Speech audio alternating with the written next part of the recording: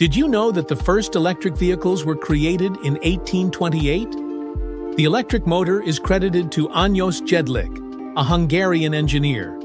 That's nearly two centuries ago. Fast forward to today, and Malaysia is on a mission to accelerate EV adoption. By 2030, 15% of all vehicles sold are expected to be electric.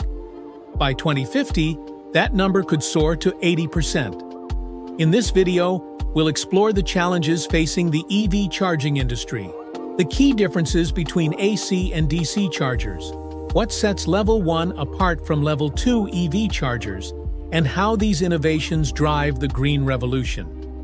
Understanding these differences will help you make informed decisions in this exciting new era. Stay tuned to the end to discover the best EV charger for your home, one that's faster, smarter, and built for convenience. First, let's talk numbers.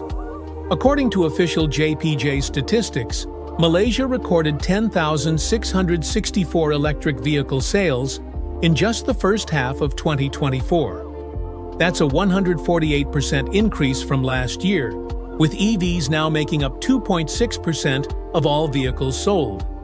This is a promising start, but what's driving this growth? The key lies in the development of the EV charging infrastructure.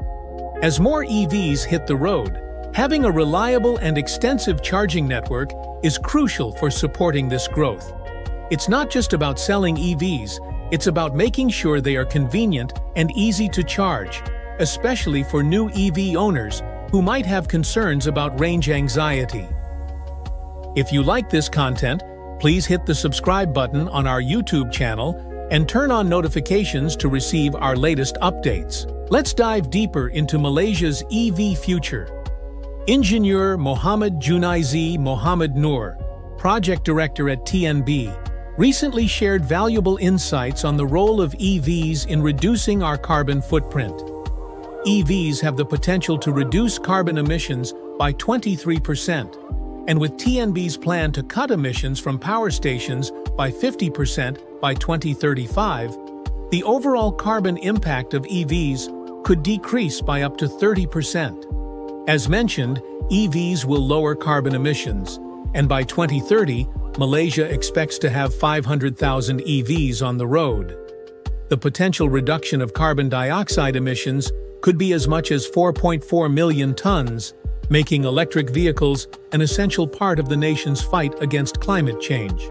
As the adoption of electric vehicles continues to rise in Malaysia, the EV charging industry faces some significant challenges. Let's explore these hurdles that must be overcome to ensure a smooth transition to electric mobility. First up is the cost of installation. Setting up a comprehensive network of charging stations, especially DC fast chargers, requires significant investment from government and private companies. Without this investment, accessibility remains a challenge for EV drivers. Next, we have grid capacity.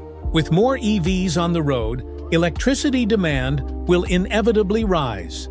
Ensuring our electricity grids can handle this increased load is crucial, particularly during peak hours. Otherwise, we could face blackouts or outages. The lack of charging standardization, with different standards like CCS, CHAdeMO, and Type 2, makes it difficult for drivers to find compatible stations, causing frustration. Standardization is key to simplifying charging and improving the user experience. Range anxiety persists despite better EV ranges, with drivers worried about running out of power on long trips. Expanding fast charging networks and boosting speeds are key to easing this concern. Once authorized, the charger delivers electricity, most chargers convert alternating current, AC, to direct current, DC, for the vehicle. Fast chargers do this at the station for quicker charging. What are EV chargers? They are essential for electric vehicles, EVs, and plug-in hybrids, supplying power to keep their batteries charged. A reliable charging infrastructure allows drivers to travel long distances without fossil fuels. Let's explore how EV chargers operate. First, plug the charging cable into the vehicle's charging port, which varies by model. Next, the vehicle and charger communicate to ensure compatibility. Some stations may require user authentication via a card or app. Once authorized, the charger delivers electricity. Most chargers convert alternating current, AC, to direct current, DC, for the vehicle. Fast chargers do this at the station for quicker charging. Safety systems monitor the process to prevent overcharging and overheating, ensuring efficient charging. When charging is complete, the system notifies the user via an app or screen, readying the vehicle for use. As Malaysia embraces sustainable transportation, expanding EV charging infrastructure is vital. Let's explore the benefits it brings. First, EVs significantly lower emissions compared to traditional vehicles. By providing easy access to charging, we promote cleaner transportation for all. Next, charging an EV at home is often cheaper than filling up a gas tank. Plus, with the rise of renewable energy sources like solar, EV charging can become even more affordable. Investing in EV charging infrastructure creates new jobs in installation, maintenance, and operation. Businesses that offer charging facilities can also attract more customers.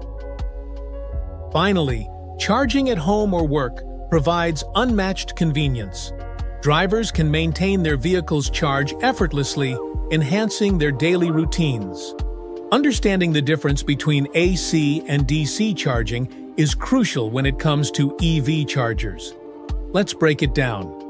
First, we have AC charging, the most common type for home and public stations. Since the grid provides power as AC, it's widely accessible. AC chargers typically range from 3.7 kilowatt to 22 kilowatt, making them ideal for overnight charging at home. While they're affordable and easy to find, they do have longer charging times compared to DC options. Now let's talk about DC charging. These chargers bypass the vehicle's onboard charger, delivering power directly to the battery, which allows for much faster charging speeds, typically from 50 kilowatt to 350 kilowatt. You'll find DC chargers at dedicated fast charging locations, perfect for quick stops during long journeys. Understanding the difference between Level 1 and Level 2 ACEV chargers is essential for EV owners. Level 1 ACEV chargers are the most basic type, typically using a standard household outlet. While they're convenient, they offer about 4 miles of driving range per hour, which means charging can take 11 to 20 hours to go from empty to full. This can be impractical for daily use. Level 2 ACEV chargers are a game changer, offering up to 32 miles of range per hour, up to 8 times faster than Level 1. They fully charge a vehicle in 4 to 8 hours, with power output from 6.2 to 19.2 kilowatts.